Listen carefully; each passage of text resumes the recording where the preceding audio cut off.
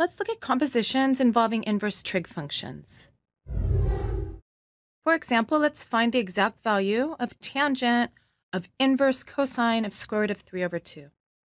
So let's let y equal this angle here. So y is equal to inverse cosine of square root of 3 over 2. And if this is y here, then we're looking for tangent of y.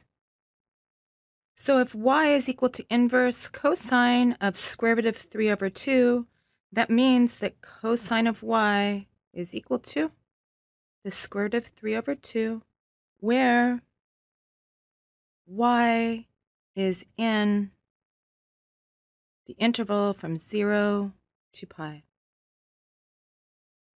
Remember that when computing inverse cosine values, our answers must lie in this interval 0 to pi. Thinking of our unit circle,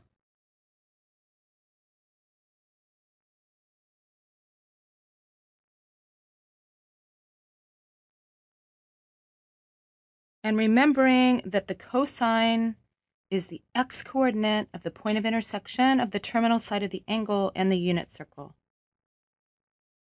And we know that the terminal side of the angle pi divided by 6 intersects the unit circle at square root of 3 over 2, 1 half.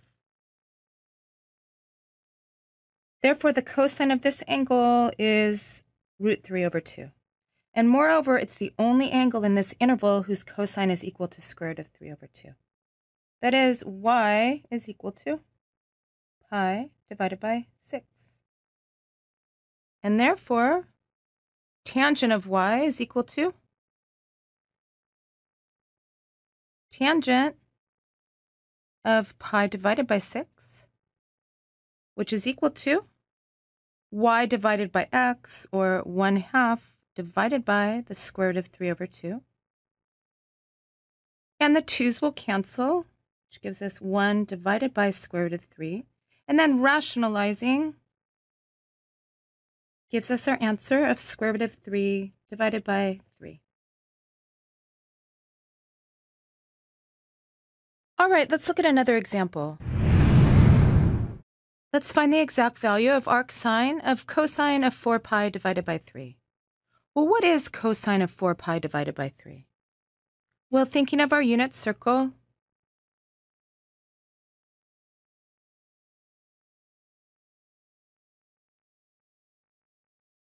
the terminal side of the angle 4 pi over 3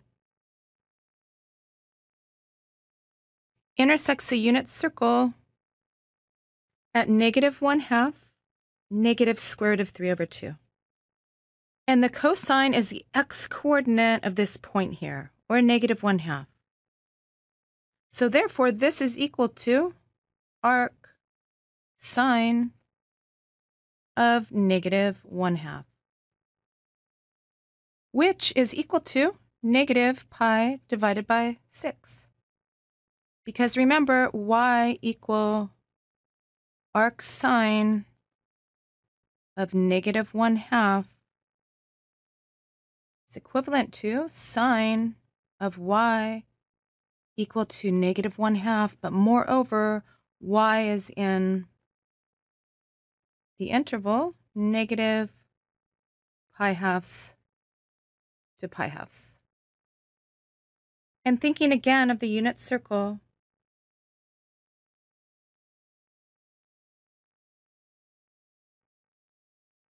we know that the terminal side of this angle,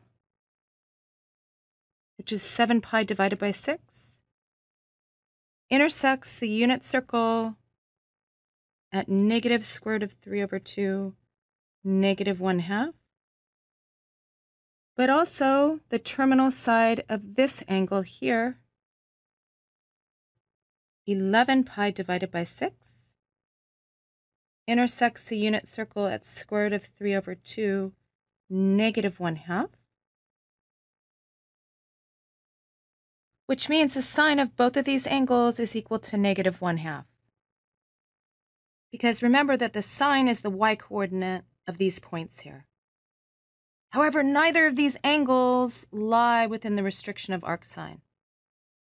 So what we need to do is determine the angle that's coterminal with 11 pi over 6 lying in that interval, which is this negative pi over 6 up here.